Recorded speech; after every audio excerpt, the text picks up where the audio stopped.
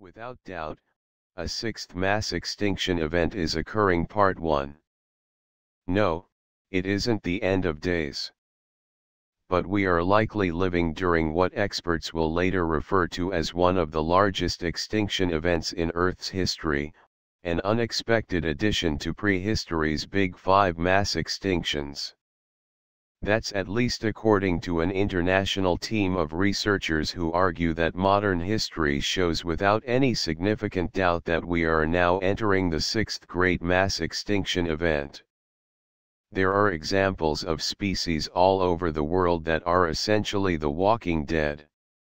Investigator Paul Ehrlich a Bing Professor of Population Studies in Biology and a Senior Fellow at the Stanford Woods Institute for the Environment. Said in a statement. Extinction is every day. Mass extinction is not. Ehrlich. Who has researched mass extinctions since the writing of his 1981 book. Extinction, the causes and consequences of the disappearance of species. Admitted that extinction goes on all the time and is a natural part of the ever-changing world. However in five, possibly six, moments in Earth's prehistoric past. Extinction became so prevalent and so widespread across the globe that it changed the course of evolution forever. For instance, about 252 million years ago. A suspected perfect storm of doomsday scenarios including disease, massive volcanic eruptions, and even U obligatory asteroid impact resulted in the extinction of 90% of all marine species and 70% of all land animals. This came to be known as the Great Dying and is the second most recognizable of the big five mass extinctions. The most recent and iconic of those five. The Great Impact occurred about 66 million years ago and is a better example for what characterizes a mass extinction event. This event, which wiped the dinosaurs, and a surprising number of mammals, from the Earth, wound up eliminating anywhere from half to two-thirds of all known plant and animal life.